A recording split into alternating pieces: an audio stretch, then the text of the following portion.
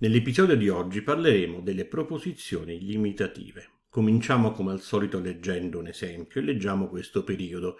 Secondo quanto dice l'allenatore, oggi non si gioca. Si tratta di due proposizioni, una la proposizione reggente oggi non si gioca e una seconda proposizione subordinata secondo quanto dice l'allenatore. Concentriamoci su questa seconda proposizione eh, subordinata e proviamo a trasformarla in un complemento. Secondo quanto dice l'allenatore può diventare secondo l'allenatore oggi non si gioca. Secondo l'allenatore è un complemento di limitazione e quindi nel periodo che abbiamo letto precedentemente la proposizione subordinata secondo quanto dice l'allenatore è una proposizione limitativa questo punto possiamo definire la proposizione limitativa come una proposizione subordinata, l'abbiamo vista nella slide precedente, che delimita quanto affermato nella reggente. Anche questa proposizione è una proposizione circostanziale. Andiamo a vedere in quale forma posso trovare la proposizione limitativa. Posso averla tanto in forma esplicita quanto in forma implicita.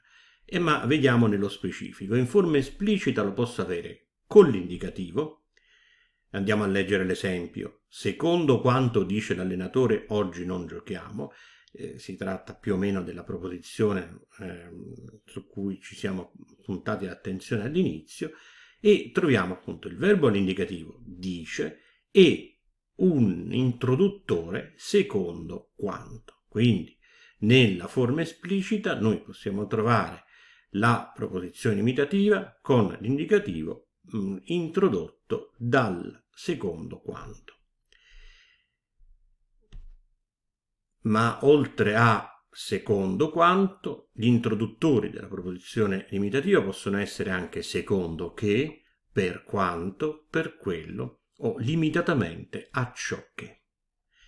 Ma la proposizione limitativa si può anche avere nel modo congiuntivo. Andiamo a leggere l'esempio. Che io sappia non viene oggi abbiamo appunto il verbo al modo congiuntivo sappia, questa volta mm, viene introdotto dalla congiunzione che. Possiamo dire che al congiuntivo, eh, quando la limitativa ha la forma del congiuntivo, la eh, congiunzione che introduce la limitativa è sempre che.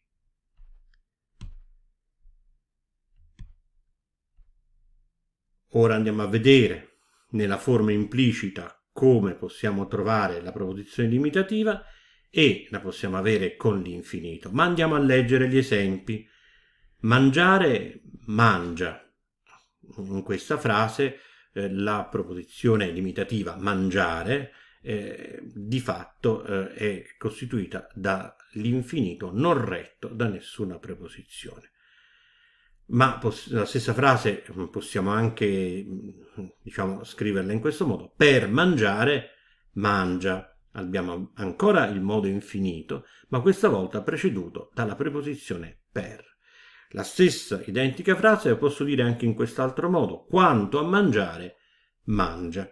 Ancora una volta la limitativa è caratterizzata dal modo infinito, ma questa volta preceduta dalla locuzione quanto a e allora possiamo dire che nella forma implicita la proposizione limitativa si fa eh, caratterizzata dall'infinito preceduto dalle preposizioni per e a oppure dalle locuzioni in quanto a, quanto a.